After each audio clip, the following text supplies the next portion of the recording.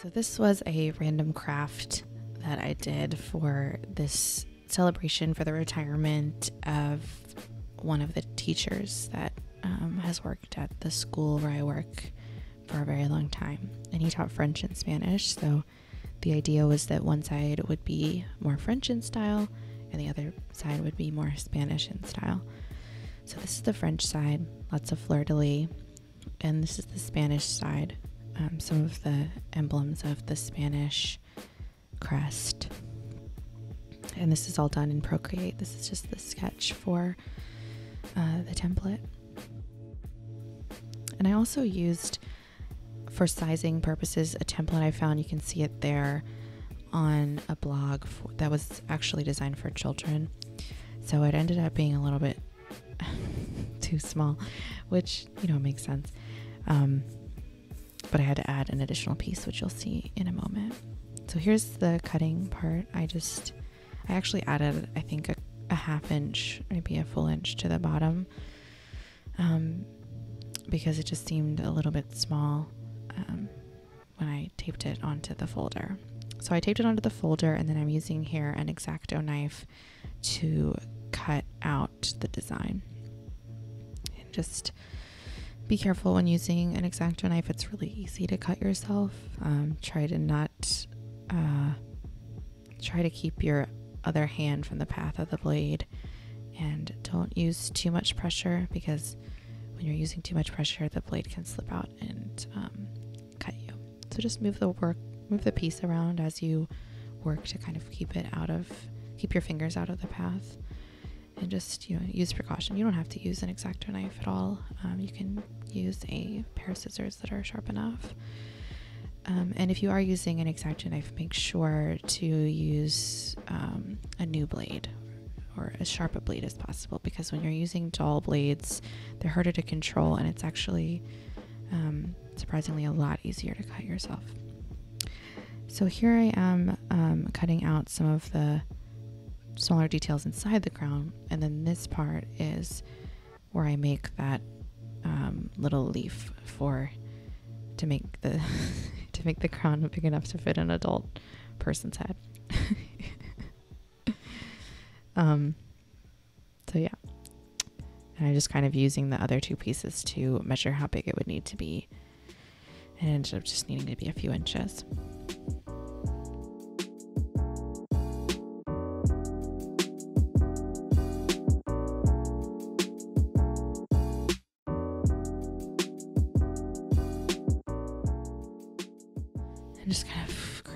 Design that would look similar um, because it didn't need to be, you know, perfect. I've already taken this project a little too far.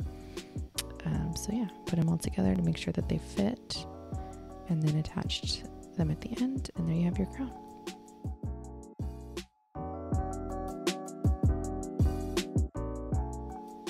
And the pieces on top are a little bit delicate, so just use caution if you end up doing a lot of detail like this. Um, it might not be a great fit for like a kid's crown. This part, I painted the pieces with a um, a shiny black spray paint and let them dry. And then I wanted to incorporate on either side of the crown um, different titles. So on the French side, You'll see here I use these little sticker decals to put Monsieur on one side. Um, and then I use the same stencils for to add uh, Senor on the other side. So just a cute little thing that has to do with the wearer of the crown. Um, this is the first time I've used these. I actually, for all of this entire craft, I just used things I found around my family's house. Um, and we happen to have these. So they were pretty easy to use and to apply, remove, and reuse. Um, I'm sure you could find them at any craft store. And then I just used metallic craft paint. Um, I don't think this was even artist acrylic. It was just random paint I found in the house. Um, but yeah, I added some little detail here with the same metallic bronze paint. And then I took off the stencils. You can see here it says Monsieur.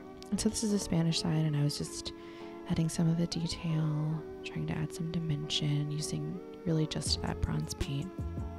And then I went in, um, you'll see a little later with some different shades. I went in with a, um, a silver too.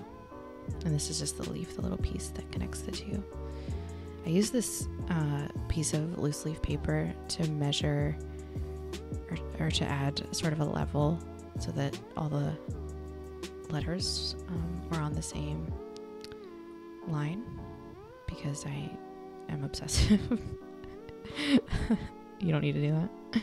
And then on the same on the stencil page, there were actually these little uh, detail stencils. So I had some fun kind of adding some detail because it's actually pretty hard using the size brushes I was using to add too much detail by hand. So this was really helpful to get the same kind of look that I wanted pretty quickly. So I recommend that as well. And then I just kind of hand painted um, some of the detail here.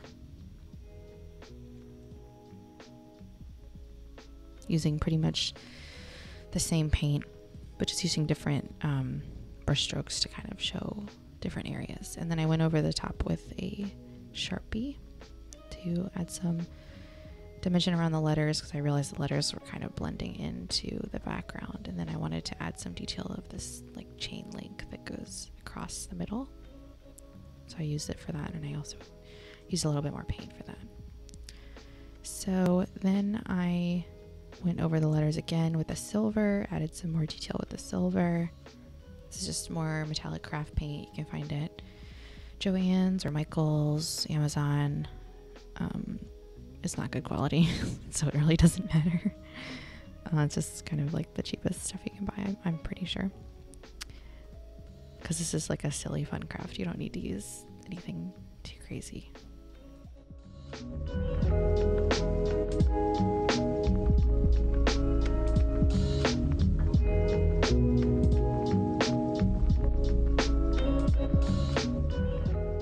So here are the final products. And then I also had some glitter on hand.